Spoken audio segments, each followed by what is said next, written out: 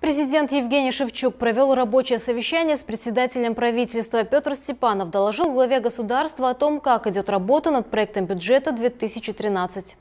Правительство отработало с учетом ваших рекомендаций закон о республиканском бюджете и э, направили на рассмотрение Верховный Совет. Позитивно уже то, что там планируется больше доходов. Бюджет будет сбалансирован конкретными доходами. К сожалению, дефицит будет, но он будет обеспечен источниками погашения. И этим отличается радикально бюджет 2013-2012 года.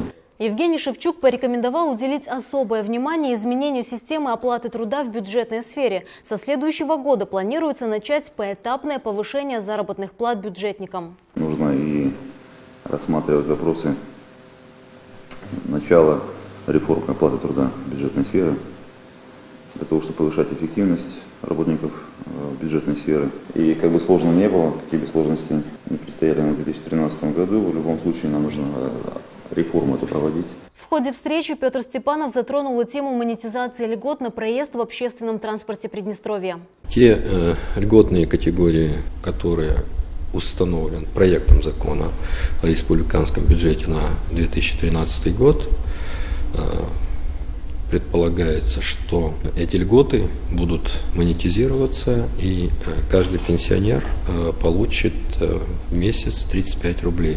Председатель правительства также проинформировал главу государства о том, что работа по подготовке к зимнему периоду систем энерго, газа, тепла и водоснабжения в республике завершена. По итогам совещания президент поставил перед правительством ряд задач. Продолжить работу над программой развития агропромышленного комплекса, особенно животноводства, а также изучить возможности постепенного обеспечения всех детских садов республики горячей водой.